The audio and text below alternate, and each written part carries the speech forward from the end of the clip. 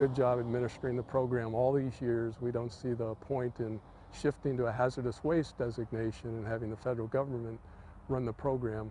It's just not a hazardous waste. It does not test hazardous by US EPA's own test by characteristic. It passes. It's uh, a lot like the soil and shale, feldspar, quartz. I mean, 90% of coal ash chemistry is what you find in quartz, feldspar, clays. There's another fraction of 8 9% that would be the titanium, sodium, sulfur, uh, elements like that. And then there's this less than 1% that are the ones that people worry about. AEP does, US EPA does, the arsenic and selenium.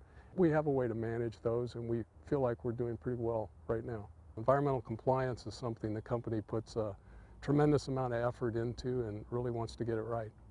We want to design the best landfill that we can that is state of the art with the liner and the leachate collection and have the groundwater monitoring network surrounding them so we understand what's going on with the groundwater chemistry. If a problem arises, we want to be able to address it.